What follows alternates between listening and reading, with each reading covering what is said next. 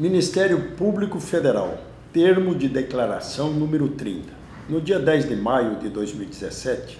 às 19 horas e 27 minutos, na sede da Procuradoria da República em Mato Grosso, estando presente a Procuradora da República Vanessa Cristina Marconi Zago Ribeiro Iscarmagnani, portaria PGR-MPF número 193 de 7 de março de 2017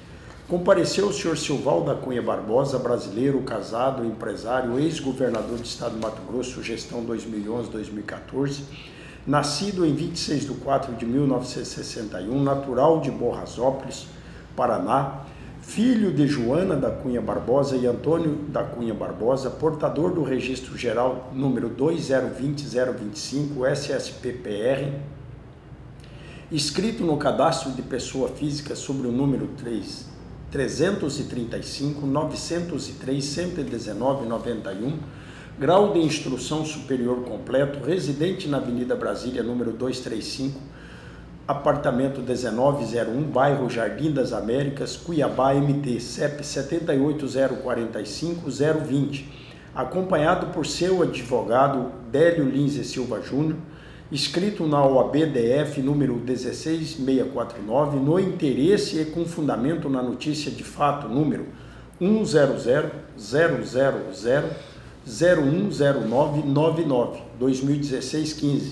em trâmite perante a Procuradoria-Geral da República para prestar declaração referente ao anexo 30. Retornos recebidos decorrente de contrato com a Secretaria de Administração do Estado de Mato Grosso Marmeleiro Alto Posto Limitada. Que o declarante se recorda que no ano 2011, após ser eleito governador do estado de Mato Grosso, nomeou César Roberto Zílio para o cargo de secretário de administração, SAD, tendo em vista que César teria trabalhado na contabilidade da campanha eleitoral do declarante no ano de 2011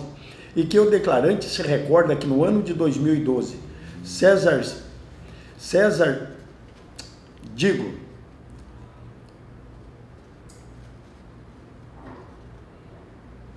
teria trabalhado na contabilidade da campanha eleitoral do ano de 2010, que o declarante se recorda que no ano de 2012 César Zílio informou ao declarante que havia uma empresa do ramo de combustível que poderia auxiliar nos pagamentos de vantagens ao grupo político tendo o declarante concordado com a proposta de César Zílio, que a partir desse momento César Zílio passou a entregar ao declarante retornos oriundos dessa empresa, sendo que o valor girava em torno de 30 mil reais mensais, que tais pagamentos não eram constantes, que, no me, eh, que mesmo com a saída de César Zílio da SAD, ele continuou a gerenciar os recebimentos das vantagens até chegar até a chegada do secretário Pedro Elias Domingos de Melo, no mês de janeiro de 2014, e que passou a gerenciar os, os recebimentos de retorno. Que o declarante se recorda que durante a campanha eleitoral de 2012, em que Lúdio era candidato a prefeito de Cuiabá e Fayad era seu vice, o declarante autorizou que a coligação Lúdio Cabral Francisco Fayad consumisse o valor aproximado de 600 mil reais em combustíveis, em combustível, oriundo da empresa que estava fornecendo combustível para o estado de Mato Grosso no mesmo ano de 2012, Marmeleiro. E que essa ajuda foi prometida diretamente pelo declarante para os candidatos Francisco Fayad e Lúdio Cabral, que o declarante combinou com Éder de Moraes tal doação, tendo em vista que Éder era um dos, um dos coordenadores da campanha de Lúdio e Fayad, e que o declarante acredita que falou com Valdísio Viriato para que este cuidasse desse assunto, tendo em vista ser a Sinfra secretaria responsável por gerir os abastecimentos, que o declarante ficou sabendo na época que tal montante em combustível foi efetivamente consumida pela coligação Lúdio Cabral e Francisco Fayad, e que não foi declarado no caixa oficial da campanha, que, embora o declarante não tenha afirmado inicialmente que seria a empresa Marmeleiro, que seria responsável pelo fornecimento de combustível Lúdio e Fayad, tinha conhecimento de toda a ajuda do declarante durante a campanha Digo que, embora o declarante não tenha afirmado inicialmente que seria a empresa Marmeleiro que seria responsável pelo fornecimento de combustível, Lúdio e Fayad tinham conhecimento de toda a ajuda do declarante durante a campanha, não vinha de recurso pessoal, mas sim da estrutura do Estado, e que levava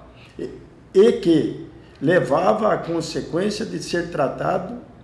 como dinheiro de caixa 2 Nada mais a declarar, encerro o presente termo às 19 horas e 39 minutos do dia 10 de 5 de 2017. E segue assinado por todos, inclusive por mim, Vanessa Cristina Marconi Ribeiro Scar Magnani, Procuradora da República, matrícula 1142, portaria PGR MPF número 193, de 7 de março de 2017, que digitei o presente termo Silval da Cunha Barbosa, declarante, Délio Lins e Silva Júnior, advogado, OABDF 16649, Wilson Rodrigues de Souza Filho, delegado de Polícia Federal, Giovana Silva de Arruda, escrivã de Polícia Federal, matrícula 19383, e Adna de Oliveira Omote, agente de Polícia Federal, matrícula 18659. Declaro que prestei o termo de declaração lido há pouco de modo voluntário e espontâneo. Estive acompanhado de meu advogado, constituído por todo o período, e assumo o compromisso de dizer a verdade, renunciando meu direito constitucional ao silêncio.